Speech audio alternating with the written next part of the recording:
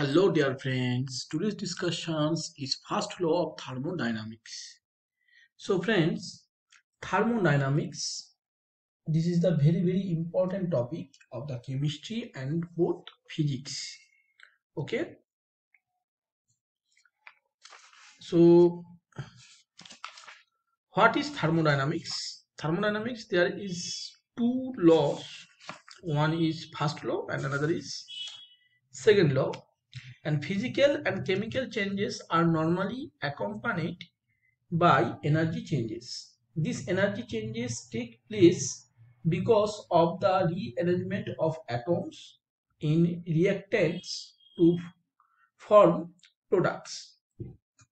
Sometimes the energy changes associated with the chemical reactions are more significant than the product of the reactions okay? Such as burning fuel and coal common form coal uh, or natural gas. This process satisfy our energy needs. The most common form form in which the energy appears is heat.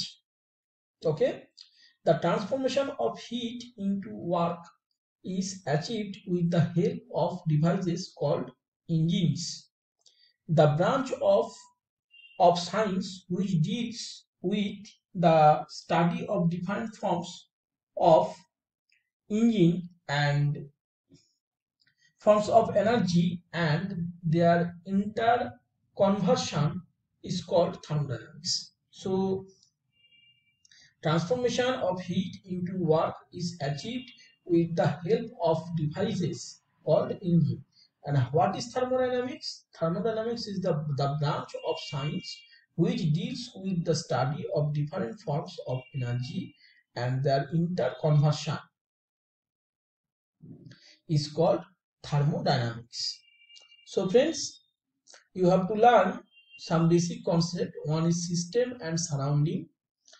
System, a significant part of the universe which is under observation is called system surroundings, the remains portion of the universe which is not part of the system is called the surrounding. Okay? Another is open system closed system isolated systems. Okay i will discuss more details in my videos next videos uh, when what is closed open system closed system open systems everything. Okay uh, I now I just solve only problems and I just discuss only problems and some mathematical mathematical problem and little bit idea of the thermodynamics. So system so which portion you have to know? You have to know open system closed system isolated system and the surroundings. System and surroundings are, are basic terms and concepts. These two terms is basic terms and concept. Okay. So now we we, we you need to need we need to know enthalpy enthalpy and enthalpy change the change in internal energy gives the heat change accompanying a chemical reaction at constant volume constant volume del V equal to QV okay? To study the heat changes for reaction at constant pressure and at constant temperature a new term is called enthalpy. Okay? So enthalpy is very very important to know okay let's start. The total energy of the universe remains constant in the first law of thermodynamics. And second is the energy of the system that is isolated from its surrounding is constant.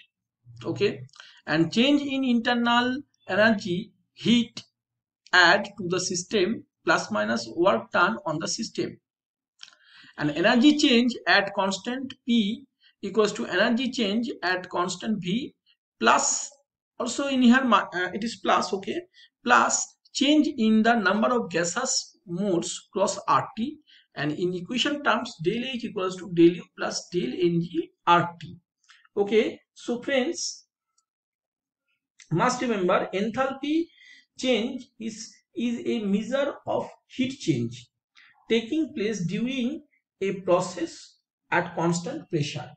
Okay, when constant pressure, another is constant volume, Cp and Cv. Okay, you know this fact that Cp is the constant pressure and Cv is the constant volume.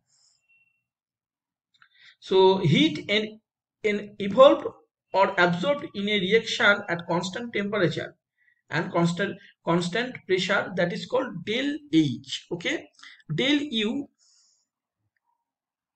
Del U means in here del U means internal energy. Del Ng is equal to R. Del Ng is equal to change in the number of gaseous moles. Okay, number of gaseous moles. Now we solve one problem thermodynamics problem that the heat of the of combustions combustion okay? Combustion of gases methane ch4 at constant volume is measured in bomb calorimeter okay? Measured in bomb calorimeter.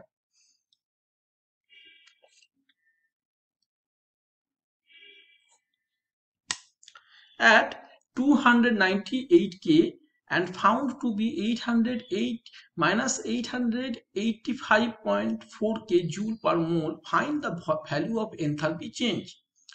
So now solution combustions of methane gas co2 and h2o h2o co2 is gas and h2o is l as CH4 plus 2A2O2 plus CO2 gas plus 2H2O.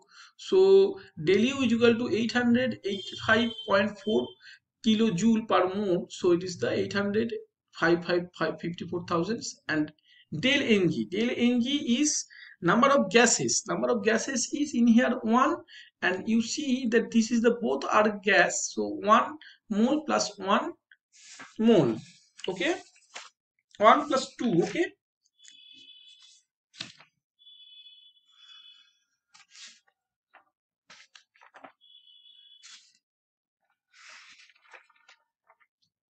okay change in the number of gaseous moles so one mole this is one mole this is 1 plus 2 3 mole so minus 2 mole so T is equal to 298 K and del H is equal to 92.38 kilojoule.